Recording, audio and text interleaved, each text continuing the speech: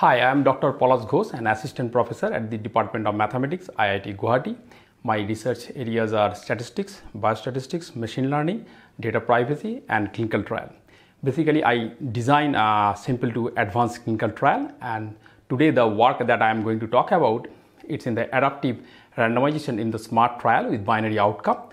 And this is a joint work with my PhD student, Mr. Rik Ghosh, and my collaborator Bibhas Chakraborty from Duke NUS Medical School, along with two other collaborators, Inbal Nahum-Shani and Megan Patrick, both are from University of Michigan. So as you know that um, how the drugs comes into the market, so and, and that FDA in US and CDSCO in uh, India, they approve the drug based on a clinical trial. And what is clinical trial? In a specific clinical trial, basically we call this randomized control trial or RCT, we have two arms okay a and b. Say for example a is the new drug and b is the existing drug or placebo that is no drug. So now um, statistician calculate that what will be the minimum sample size required for establishment the efficacy of a particular drug. Say for example that turns out to be 200 now this patient will come sequentially and then we basically toss a fair coin to allocate the patient 50-50 ratio to the A or B. Say for example, I toss the coin and if it turns out to be head and then I will allocate A otherwise I will allocate B. Now once that uh, entire trial is completed I will look at this outcome. If the outcome is binary that means yes no kind of things then I will compare the proportion and if the outcome is continuous I will compare the basic means and then the of course that based on the results the FDA or the CDSCO in India they will approve the drug to be available in the market. Now you think about that yeah, when the drugs in the market and you are suffering from a particular disease and went to a doctor and doctor prescribed a particular medicine to you. Say for example that medicine is A. Now if A is working then doctor will say that you continue with the A particularly in the chronic disease setup and but if A is not working that is not responding well then doctor will say that you switch to another drug C. Now you have a sequence of drug instead of one particular drug AA or AC. Now, how to compare these two sequences? That's mathematically challenging and statistically the methods are much more complicated compared to the different RCT. Now, that's where a new kind of clinical trial comes into the pictures. It's called the SMART, that is sequential multiple assignment randomized control trial. And compared to the RCT, it has multiple stages. It can be have two or more than stages. And in different stages, we have different randomization points. Now, if you talk about the drug sequence, it's a, not a static sequence, it's a dynamic sequence. See, because you are starting with A, now you may end up with AA or AC. Now, comparing these are the much more challenges, and that's why uh, we are coming into the pictures with respect to the SMART trial. And now, even in the SMART or RCT, when we are doing the randomization, we are doing in a equal basis, that is 50-50 allocation of the patient.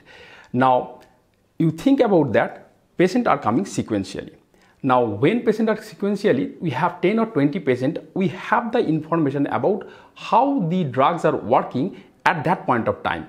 Now, using that information, I can tweak the randomization ratio and that's called the adaptive randomization. We are adapting to the randomization scheme. Now, I tweak the randomization from 50-50 to 60-40. Then that will allocate 20% more patient to have the better treatment at that point of time. I can re-change this allocation ratio in the later half. But now in the smart, because it has the multiple stages and multiple randomization points, the problem becomes much, much complicated. And that's where our recent work is working. And we propose that we first optimize the final stage of time in randomization points, and then we pass that information backward to the first stage to optimize the allocation ratio. And the problem is that if you do that in the forward way, it will give you suboptimal solution. And this work is extremely important for us and it is uh, uh, right now published in one of the esteemed journal in statistics. Um, uh, it's called the biometrics. And what is the advantage of this, this work is that it is twofold. First, we have shown that if you follow our randomization procedure and we have also the procedure how to implement that things in practice, then you will see that the overall number of failures compared to the equal randomization is much much improved. That means we have much lower failures in the entire smart study. And once the study is completed we have the drug sequences. And there is a chronological order which drug sequences is the best and which is the worst. Now if you see that using our procedure, the number of patients which are allocated to the best one, that is the highest, and the number of patients allocated to the worst one, that is the lowest. Now, with respect to the Indian context, it much much valuable because this smart trial are the backbone of the bigger umbrella called personalized medicine. Okay, in personalized medicine, what the objective? The smart will develop the decision rule, and what what it does, it does that it offers the right treatment to the right participant at the right point of time. And that's a huge beneficial because it's a cost effective. And you know that uh, the personalized medicine is the future of uh, medicine. So in particularly in indian context it will be much much beneficial to the patient. And when patient know that they are treated in a personalized manner and using adaptive randomization they have a higher chance of getting the best medicine. So they will much much willing to participate in the study and it will improve the adherence rate as well as it is uh, lower the dropout rate and overall success of the clinical trial and we are also working with uh, different Indian institutions to uptake the smart in much much greater way and that will beneficial uh, the Indian community as well as the Indian healthcare sector.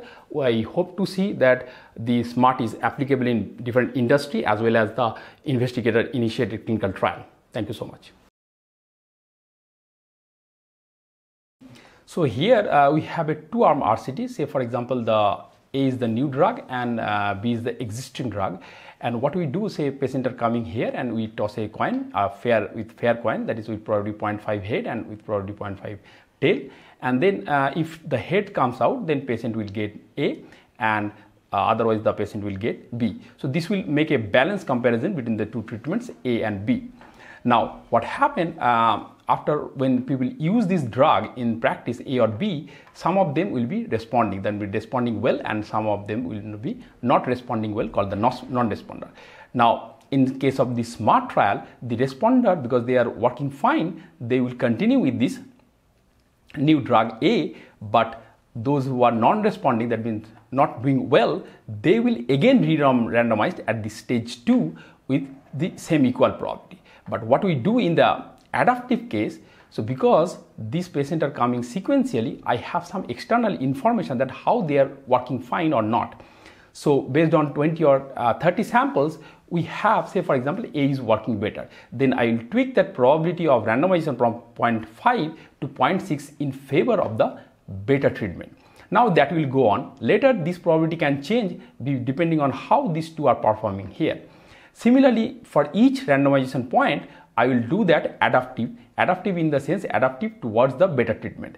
Now you think about that when you have a sequence, this is called the dynamic sequences, this is much more difficult and what we did exactly, we I mean, we optimize this randomization allocation first and here first, then we put that information backward to optimize that. That is our novelty coming into the pictures. And if you think about the DTR, so this is the DTR or the dynamic treatment regime. So you are starting with A, then if you are a responder you will continue.